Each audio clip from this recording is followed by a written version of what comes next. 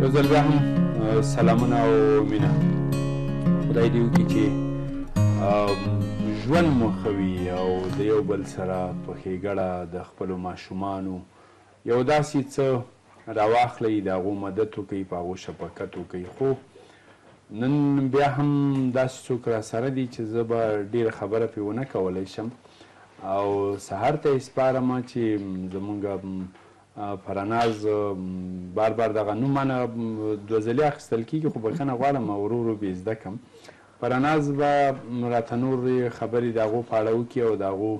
په ژوند خبره کوو، د هغو په دې حلق خبره کوو چې څوک دي، څوک ورسره مرسته کوي. موږ باید ناهیلي نه شو، زموږ په هېواد کې داسې ځوانان، داسې خلک شته چې دومره ښېګړه کوي چې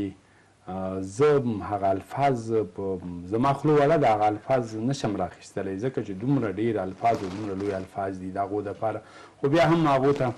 لا ښه ژوند او ارمانونه یې پوره کړي چې دغه ماشومانو سره دوی په کوم کوم برخو کې مرسته کوي او د دې ماشومانو د سر سوری شته او نشته څوک دي دا به مخکې د دی سره خبره کوو او فراناز نوری خبری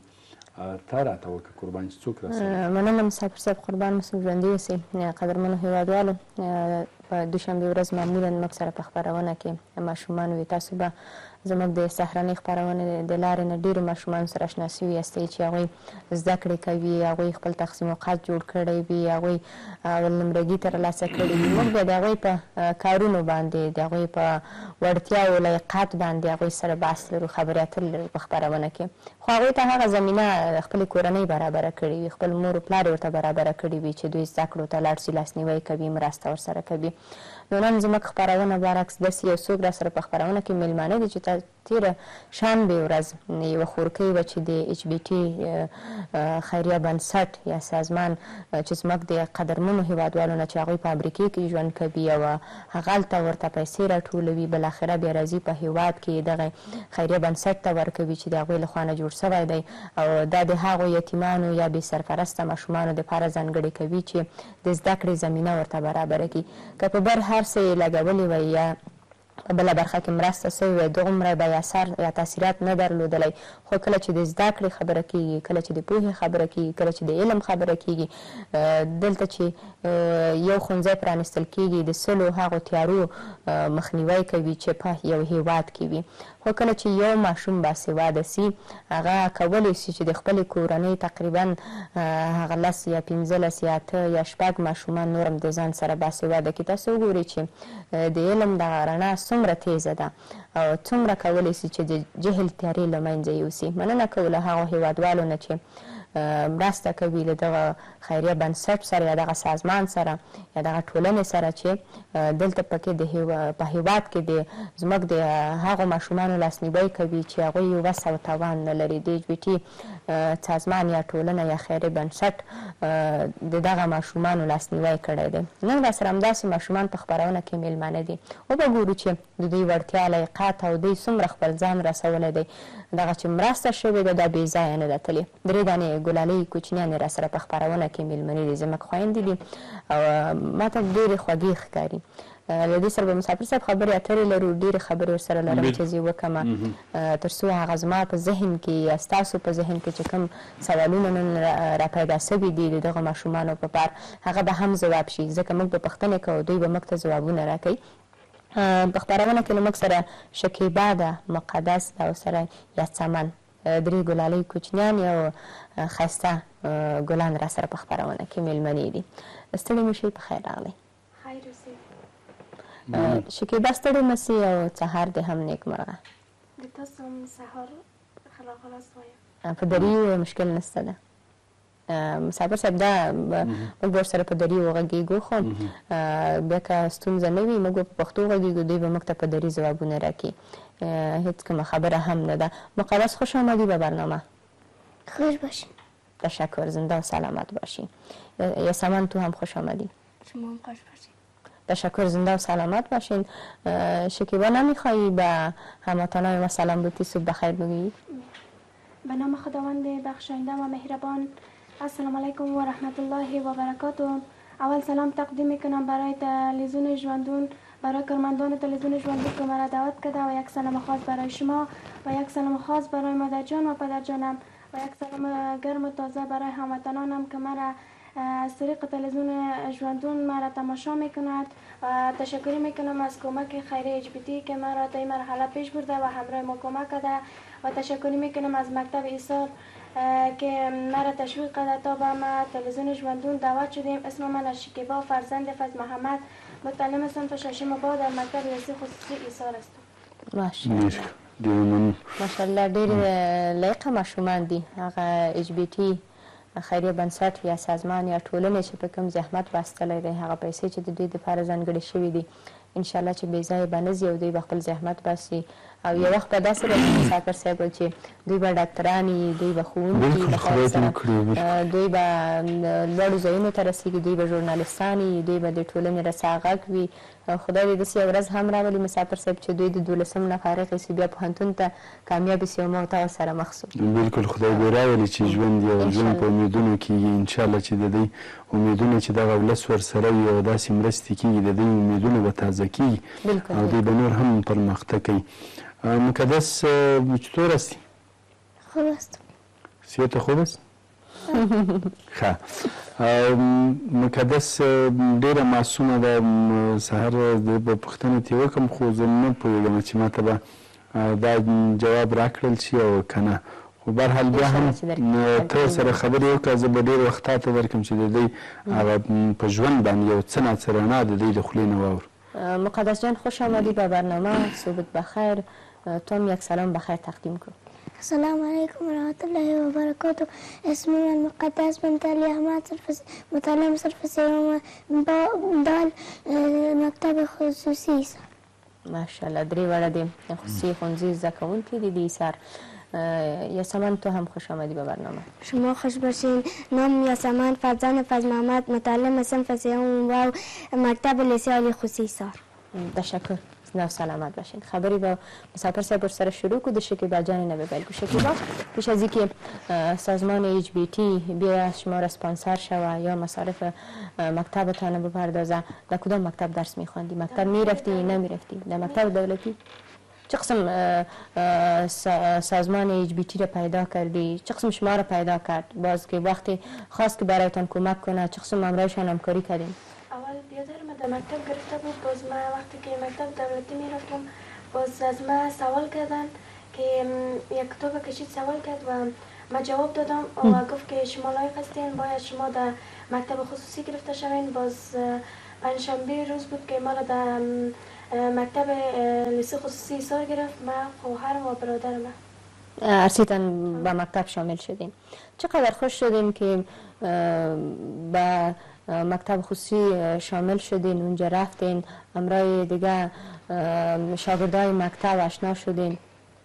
بسیار خوش شدیم که به خاطر که مکتب خصوصی را خوش داشتم و خداوند بران مکتب خصوصی را اجبیتی کمک اجبیتی را روان کرد که ما تا به مکتب لیسه خصوصی ایسار شامل شویم. بیاورد گفتی که اول بیاورد شامل شده بود چه قسم بیاورد تا پیدا کردن؟ اول بیادارم اول خو کمک اچ بی تی در مکتب آمده بود و به حاجی صاحب و مدیر صاحب و ما گفت که کیم در مکتب خانواده غریب است باز اول مدیر مکتب ما نام ما را داده بود که ته مقدس شان و باز از امو طریق برادر ما گرفت باز ما در مکتب دولتی بودیم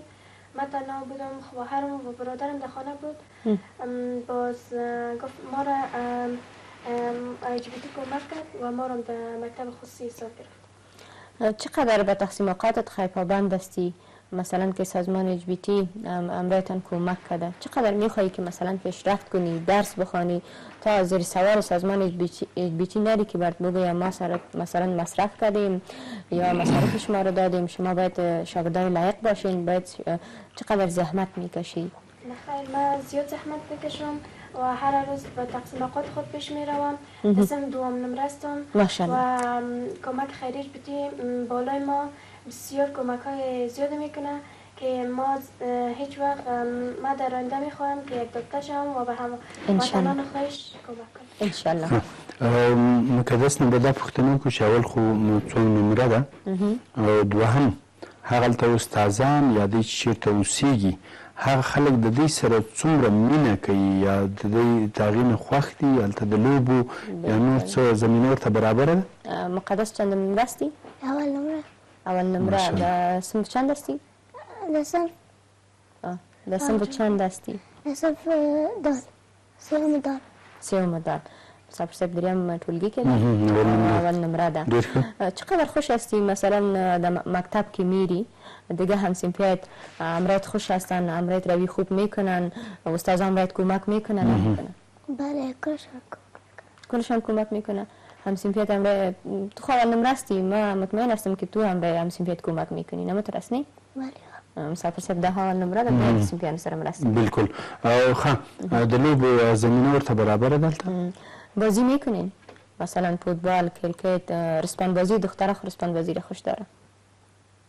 دبا ها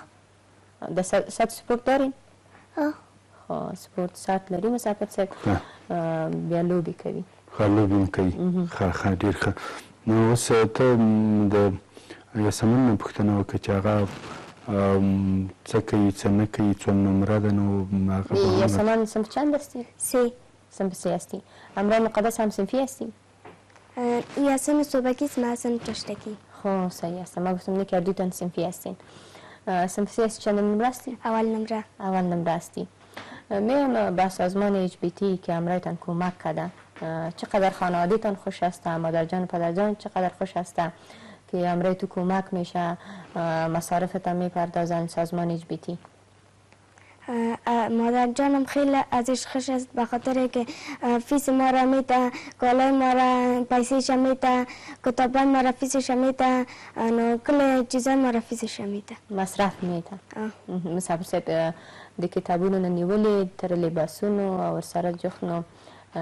بیا هغه میاشتنی فیس چې دی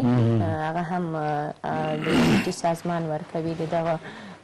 زده کوونکو لاسنیوی یې کړی دی مرسته ورسره کړې ده واقعا دا د خوشحالۍ ځای دی موږ ډېر زیات خوشحاله کیږو چې دغسې خیریه بنسټونه راسي په پوهې او علم باندې مصرف وکړي ځکه چې په دوی باندې به ورکه نه وي مسافر صاحب ما ویل چې دوی به ډاکټران سي دوی به انجینران سي او دوی به ژورنالیستان سي دوی نه به هغه کسان جوړیږي چې آینده کې به افغانستان ته خدمت کوي. بلکل یاسمین نو یوه پوښتنه بله کوو پخوا به داسې وو چې خلکو به ډیرې ګیلې کولې په راناست چې مکتب ته لاړ شي هلته په ماشومانو باندې ظلم کیږي وان وي ټکول وي اوس ورته یه تاسو چې ځیه هلته استادان څنګه رویه درسره کوي ویي ټکویم په مینه درته سبق ښیي څه درته وایي. یاسمن تو برم بگو وقتی که مکتب میری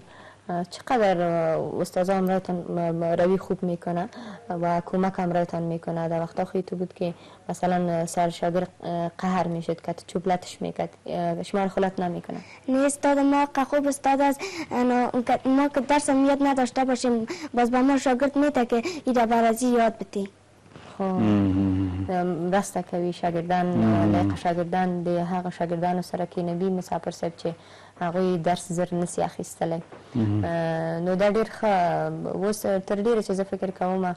مسافر صاحب ډیرو ښوونځیو کې به دغه رویه هغه پخوا چې هغه به له منځه تللي وي او دوی سره به شاګردانو سره به ښوونکي بده رویه نه کوي خو لا هم شته دی یو نیم شته دی هغه به هم له منځه لاړ سي یاسمین د خانم رای مادرت کمک میکنی بله مثلا کدام کار انجام میتی ظرفا را میشویم خانه را جارو میکنم بازگه کارای مخوا را میکنم خو ډیر زیاته مننه دا د مسافر صاحب ماشاءالله پیاوړی سوي دي او کور کې هم مرسته کوي ښوونځي ته هم ځي مقدس عزیز تو برام بگو وقتی که مقطعت میری کس خبرت نمیگه که مثلا چرا فیست سازمان ایج بیتی میپردازه نمیگه تو ښه د دې سره ډېرې کیسې لا پاتې دي خو شکیبې نه دا پوښتنه کوو چې کله هم دا اوس ځي مکتب ته هلته د دې یو څوک مرسته کوي خو په ذهن کې یې څه راځي چې په راتلونکي کې زه یو څه جوړېږم څه جوړول غواړي د ځانه او بیا همدا ټکی دې په ذهن کې نیولی چې ما سره چا مرسته کړې ده او زه به مخکې ځم او بیا به د نور ولس سره خدای دې نه کړي چې یو بل ته محتاج شي خو بیا هم که د ضرورت و وخت کې مرسته به کوم که به نه کوم. شکیبې ته ته لږه ترجمه وکړم شکیبه پوه شو لکه زی ترجمه کړم نو ترجمه یې کړم ترجمه یې کړم مسافر صاحب زما ترجمه کې نیمې نیمګړتیاوې وي خیر ده هغه خو راځي پکې او څه مثلا د انده خو ګفتي مسافر صاحب هغه خو ویل چې زه غواړم ډاکټر شم نه ډاکټر چې بیا په زړه کې دې څه راتېرېږي نن تا سره څوک مرسته کوي شکیبا مثلا سازمان اچ بی تی است همراه تو کمک کرده به مکتب میری فیس تان میپردازه برتان لباس میخره جاکت میخره بوت میخره باز داینده که تو بخیر دکتر شدی اگه کدام هم وطن ما نیاز داشته باشه که کمک شو همراهش کمک خواهد کردی ده ذهنت میگرده بله ده ذهنم میگرده که اگر مثل ما ولی دیگه کسان محتاج بود من میخواهم که دکتر شم و داکتری خود برای هموطنانم که محتاج هستند باید زود کمک کنند. ماشاءالله. چه اوسی د انسان قدرمنو اوریدونکو او لیدونکو دا هغه څه دي چې یو انسان په مرسته ښکلی کیږي ما مخکې هم یادونه کړې ده بار بار وایم چې یو انسان ته که حد اقل یوه ښه خبره وښیې ګاونډ کې وي مکتب کې وي په وطن کې وي هغه به د هغه ژوند ښکلی کړي ستا صدقه جاریه ده د هر قسم چې د تاسو مرسته کېږي دغه چې بیټي چې کوم د دوی مرسته کوي دا د دوی راتلونکی ښکلوي د دوی هغه څه ژوند ښکلی کوي بیا د دوی په ذهنونو کې دغه یو څه غورځېږي چې موږ په راتلونکي کې موږ سره چا مرسته کړې ده موږ به بیا د خلکو سره مرسته کوو دا هغه د یو د امن، د سوکالۍ، د مینې، د محبت یو پېغام ده. ځکه چې دا پېغام د هغه چا نه را خپرېږي چې دلته یې څوک مرسته کوي، بیا چې کله د دوی مرسته وکړي، بیا د هغې نه وروسته بیا هم که موږ وګورو چې مرسته څوک د چا سره کوي، هغه مرسته بېلاخره د دې سبب ګرځېږي چې هغه وخت په وخت باندې د هغه په ذهن کې، د هغه په دماغو کې همدا راګرځي چې بیا به آینده زه هم همداسې مرسته کوم نو بیا هم د یو بل سره مرسته او د یو بل سره ښه کول چې تر څو پورې راتلونکی نسل زمونږ نه دا زده کړي چې د یو بل سره ښه کول او ژوند دا مینه زیاتوي. بلکل مسافر صاحب اوس هم اورو شکیبا به موږ ته څه راوړي وي شکیبا څه دې راوړي موږ ته ترانې عربي تاسو موږ ته ترانه ووایئ.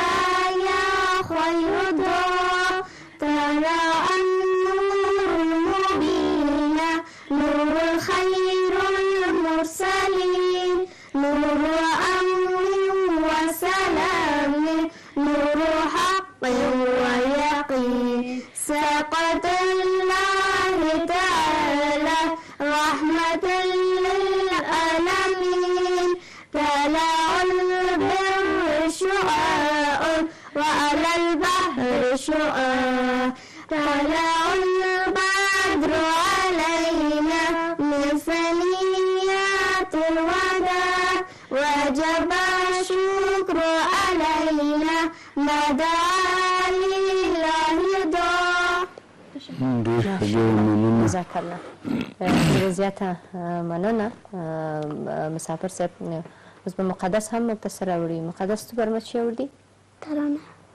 بخون ترانه ته بسم الله الرحمن الرحیم پدرم ای پدر شیرینم سوی تو شام و سحر می بینم قصه گفتی ز گل و باغ و بهار قصه از آب روان جوی کلار هر حرف تو با من پنده شد تا لبم باز به لبخنده شد راحت زندگیم از تو بود بخت و پایندگیم از تو بود دوست می دارم ای سایه عمر دوست می دارم ای مایه ماشاءالله ماشاءالله ډیره زیاته مننه کوم مسافر صاحب لندن پیغامونه به واورو بالکل به واورو وخت هم هلته زموږ سره ملګرتیا نه زموږ وخت بیخی کم دی خیر به باز در برنامه دیگر که آمدین بخیر باز را بخوانین ولی وقت ما هم کم است یک پایم کوچک تا نمشنویم سپایم دی. پیام من این است که باید هموطنان عزیزم هم مادرها و مادرجان و پدرجانم همراه کلگی همراه اولادهای خود کمک کند تا به یک جای برسد به هموطنها کمک کند. ډیره مننه مقدس تو چی پیام داری؟ مقدس وایی چی تعلیم وکړی او لیک لوست زده کړی او خپل مور او پلار هغه چی څوک مونږ ګوری په خپلو بچیانو باندی تعلیم وکړی همداسی ده مقدس؟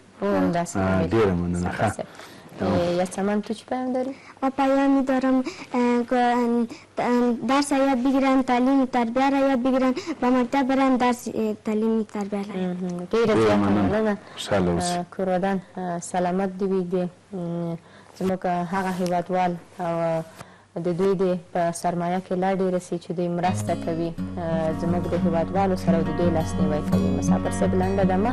بېرته راګرځو خپرونه ته